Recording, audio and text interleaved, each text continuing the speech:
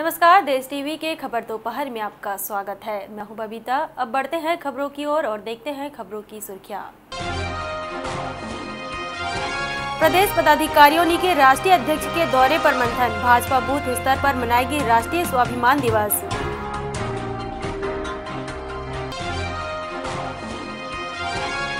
जगदलपुर की मालती को मिला स्मार्टफ़ोन। मालती ने जताया मुख्यमंत्री का आभार।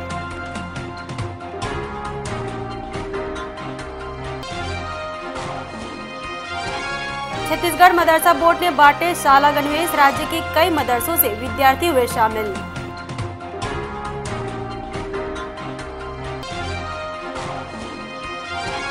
और मल्हार के पुरातत्व पर राष्ट्रीय संगोष्ठी शुरू। देश प्रदेश के इतिहासकार हुए शामिल।